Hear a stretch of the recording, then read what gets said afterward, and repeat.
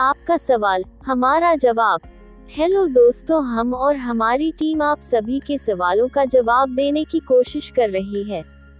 आज के इस वीडियो में हम एक सवाल का जवाब जानेंगे, ताकि जल्द से जल्द आपके सवाल का जवाब मिल जाए।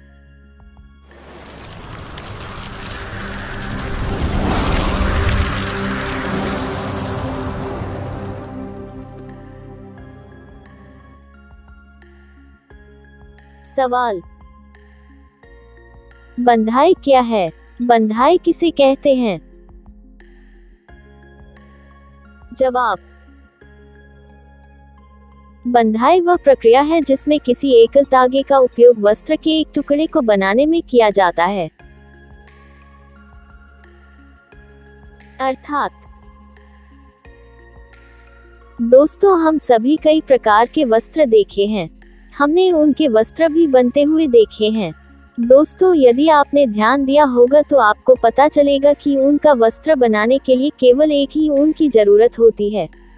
तो दोस्तों, जो वस्त्र केवल एक ही ऊन या धागे से बना होता है तो उसे बनाने या बुनने की प्रक्रिया को ही हम तो बंधाई कहते हैं।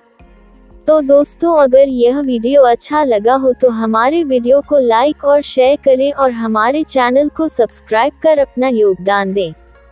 धन्यवाद।